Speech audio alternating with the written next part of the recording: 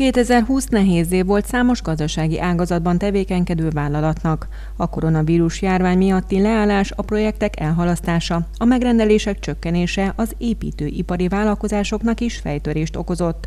Nem minden cég tudta ezt könnyedén átvészelni. Több vállalat elbocsátásokba is kezdett. Az Aliszka Bau ZRT alapító tulajdonosa azt mondja, bár ők is érzékelték a nehézségeket, a fix megrendeléseik miatt idén volt munkájuk. Legutóbb Bonyhádon a szennyvíztisztító telep korszerűsítésén dolgoztak. A cég idén a bevételét is 20%-kal tudta növelni, ami megközelítőleg 6 milliárd forintra rúg majd. Ám már most látják, hogy 2021-ben különösen nehéz évelé néznek. Nagyon kevés a megrendelési állomány a jövő évre.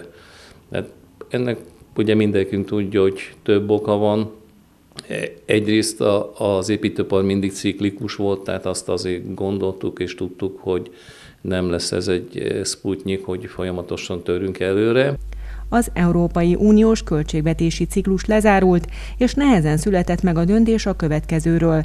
Ez az oka annak, hogy a jövő év első felében a megszokottnál jóval kevesebb megrendelésre számítanak a piac szereplői. Az Aliszka Bau ZRT-nél több mint 50%-os a munkacsökkenése. Kocsmár István azt mondja, egyelőre nem látják, hogy miből tudják előteremteni a megrendeléseik másik felét. Ez úgy azt vetíti előre, hogy maga a kivitelezés, hogyha most nézem a tervezést, a közbeszerzést, illetve az engedélyezés eljárásokat, jövő év szeptember-október előtt nem nagyon fog elindulni. A piac szűkülése, a megrendelések csökkenése pedig további elbocsátásokhoz is vezethet az ágazatban, mondja az építőipari vállalkozás alapító tulajdonosa. Az Aliszka Bau ZRT-nél idén nem küldtek el senkit, és jövőre sem terveznek leépítést, mivel a több éves szerződéseik garantálják, hogy valamennyi munkájuk azért legyen. Ám kevesebb alvállalkozót foglalkoztatnak majd. Szakmunkásokat azonban szeretnének majd felvenni, az őszi munkák elindulásakor ugyanis szükség lesz rájuk.